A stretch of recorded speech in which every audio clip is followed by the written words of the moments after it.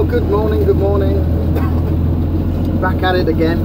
Um, it's Friday morning now. Uh, we've had a couple of days of, uh, of sun. Everything's cut.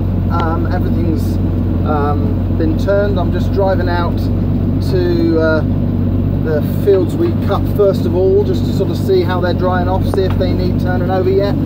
Um, they both had a good day of sun on them yesterday, so uh, it may well be that they want to be just turned over again um, just to just to get any bits of green that are still left. Um, it's going to be a quiet day today I think. Just uh, time to wait and uh, let nature take its course.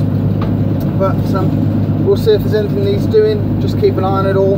Um, fingers crossed not far off being ready to bale I mean I'd like to be able to bale um, over the weekend, ideally. Um, maybe, maybe even get some into bales. It could get it rowed up tomorrow. Uh, we'll have to see. We'll have to see how it dries. Um, obviously, we don't want to bale it too early. No point in doing that. So um, yeah, just uh, today's a gentle day, I think, before the chaos and hectic days of baling and collecting. Um, so I'm just arrived out here in this field. It's all looking, actually, I'll just turn you around. I don't know if you can see that. The tractor, the windows are a bit grubby, but uh,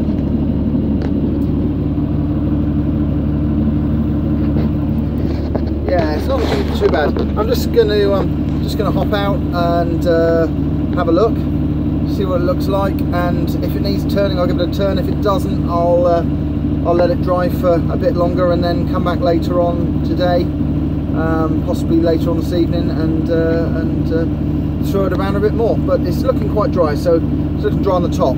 Um, we'll have a look underneath it and see how it looks. Uh, okay just got out to have a quick look and uh, yeah a bit of a mixture. I'm going to turn it now I think.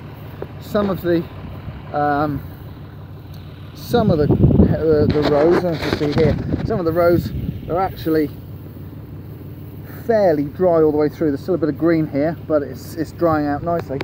But uh, if we just come over to here, for example, um, look here, there's obviously there's a lot of green, um, uh, a lot of moisture still in some of this stuff here. So I'm going to give it a quick turn now um, before the sun gets up too high and gets too hot, and then uh, it should dry nicely through the day. And um, with any luck, as I say, we'll be in a position where sometime tomorrow, Saturday, we can possibly look at getting it rowed up, maybe bale tomorrow afternoon. We'll um, we'll have to see. So uh, I'll get to it and um, just plod up and down the field. So we're uh, turning away Ooh, quite happily here. Um, we're in the uh, the middle field, the wet field now, where uh, our deer family live. I saw them again last night. There was actually 10 of them. Um, we seem to have sort of a mini herd of deer living out in the woods over there, which is lovely. Um, yeah, things going well. We're chucking the hay around. Um, it seems to be drying fairly nicely. There's a few uh, a few lumps of uh, really green stuff tucked away in amidst the dry. So um, obviously just need to check it a couple more times before we uh, before we even think about baling it in this field.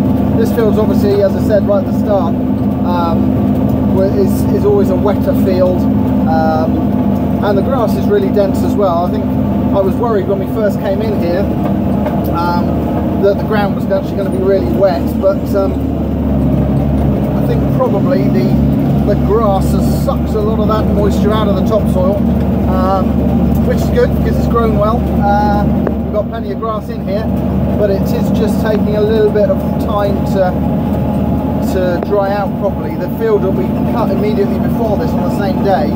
Um, probably 80% of it, maybe even 90% of it is, is pretty much there. Um, you know, we could be baling that tomorrow. Um, whereas in here, probably expect there's 30-40% of stuff that's just still green. So um, yeah, it's just uh, it's going to be a case of mowing it in the order it, uh, mowing it, baling it in the order it's ready. Um, the uh, ironically, the last field I cut which I only cut on um, Thursday, yesterday morning, um, you know, a lot of that is, is really dry already. It's much thinner. Um, there won't be as much hay in there, but it may well be one of the first I end up baling, um, just because it's drying out so much quicker. So we'll see what happens. This one doesn't get a lot of wind, as I said before. Um, it's shielded, as you can probably see behind me. It's shielded on all sides of the field by trees. So you, uh, we're relying more on the sun here and less on the wind. Um, but you know, it's uh, all going to plan. Forecast says we've still got um, plenty of dry weather to come. So. Uh, I'm not sort of worrying just at the minute. I'm not not scared we're going to lose it all. Um, tomorrow's supposed to be a hot, hotter day again. It's uh, forecast says for 26 degrees C today and 27 degrees C tomorrow. And again with this just this breeze. Um, hopefully we'll get a good drying day today. We'll be able to bale, row up and bale um, one of the smaller fields tomorrow. Um, yeah, that's that. We'll just carry on flinging it about. And uh, as I say, I think it's going to be a quiet day today. Plenty of time to have a rest.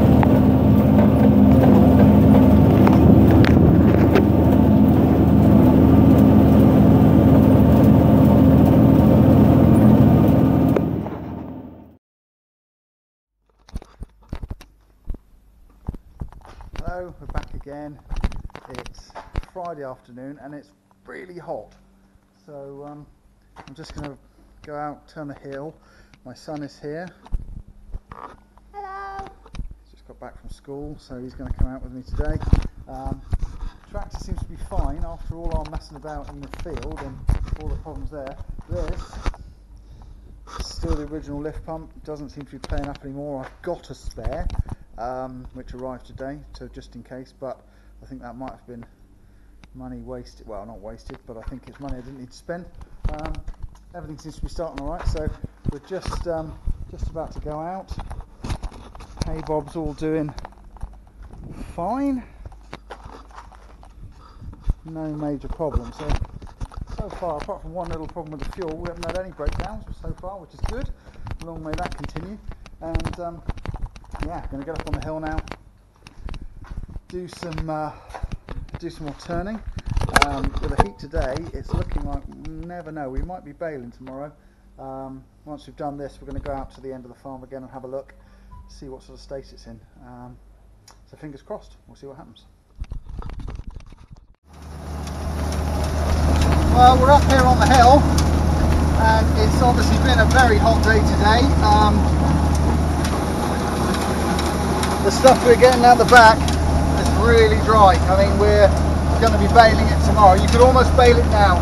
There's a few patches of green underneath it, but nothing significant. So, yeah, we'll be tomorrow morning probably. We'll be rowing this up and baling it. Um, I'm wondering what the stuff out the end of the farm is like actually, because that is probably ready as well. We might actually even row that up the this evening. I don't know. Um, we'll have a look when we go out there. But yeah, it's all lovely and dry, lovely and crisp.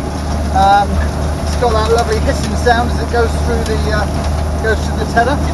So uh, yeah, we'll be baling. Yeah.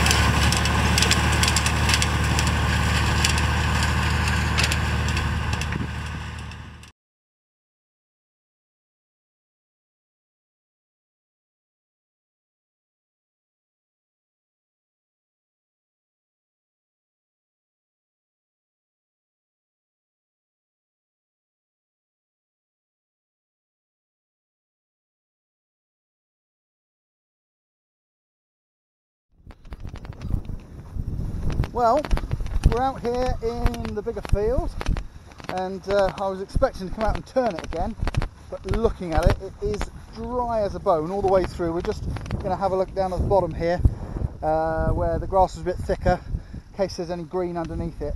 Um, if there is, we'll probably just run the turner over it um, and row it up in the morning. But uh, yeah, up at the top of the field is absolutely perfect. It's baling, you know, properly ready to bale now. So, just in one of the thick patches, let's just have a look here. There's a bit of green, but how dry is it? Um, so we've got a bit of green. Yeah, I think it's not bad.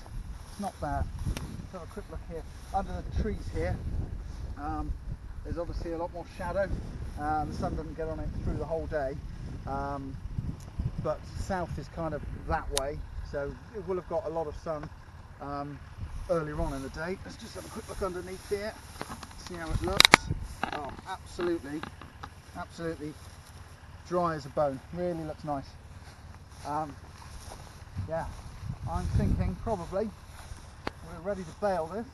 I'm just looking around, just looking around for a couple of the thick spots, just sort of looking for problems. But um, yeah, at the moment this was this was where it was thickest. This is where the big clumps were.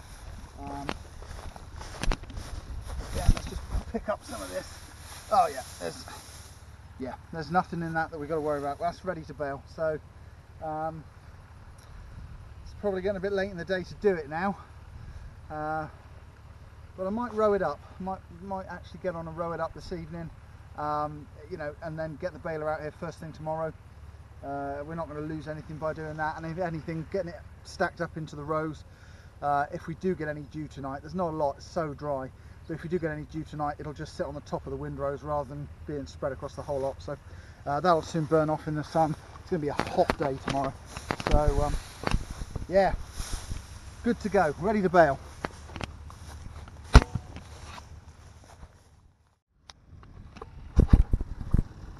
Yeah, so it's good that we can finally bale it and all row it and bale it and stuff.